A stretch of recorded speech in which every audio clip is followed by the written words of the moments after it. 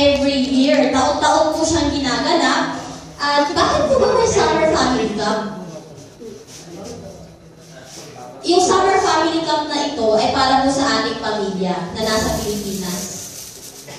Lalo-lalo na po, especially sa ating pamilya na hindi pa nakakakilala at nakakarinig ng salita ng Panginoon. Mapalad po tayo dahil nakakarinig po tayo ng salita ng Panginoon, nakikilala natin siya more deeper. Pero kamusta naman yung pamilya natin? Kaya naman po, kahit nandito tayo sa, sa Korea, pwede po natin ma-reach yung family natin through this camp. Bali po itong family camp na to, ay gaganapin po sa March 26, 27, Sabado at Linggo po iyon.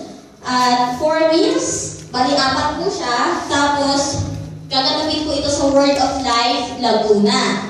Bali nung nakaraang linggo, sinabi po natin ang kada isa ay 50,000. Pero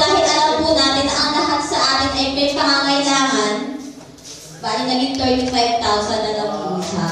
With bus. Wow! Para may transportation na po siya sa Cubao po yung meeting place. Mga kapatid, huwag niyong isipin yung 35,000 kung ang buhay naman ng ating mga pamilya ang masisave. Amen po ba? Amen. Amen.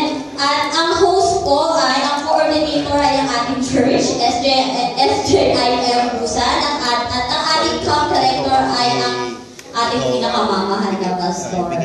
Praise the Lord. Bali ang sumunod naman po, dahil sa usapang puso, at dahil mahal po natin ang ating pamilya.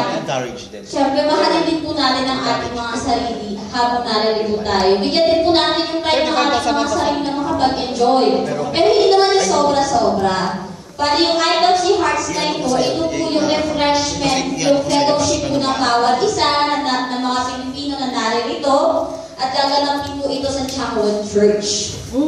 At para maunawaan po natin yung tunay na meaning ng pag-ibig. Ano ba yung pag-ibig? Pag-ibig ba sa kapwa? Pag-ibig ba sa pamilya? Pag-ibig ba sa ating mga kamahal sa buhay?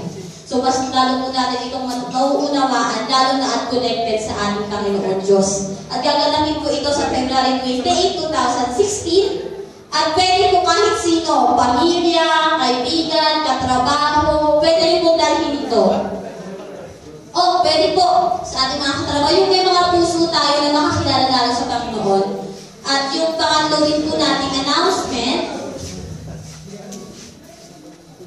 E12, may E12 training po tayo. Ang ibig sabihin po ng E12 ay evangelize, Hi, kamusta? edify, Lamig.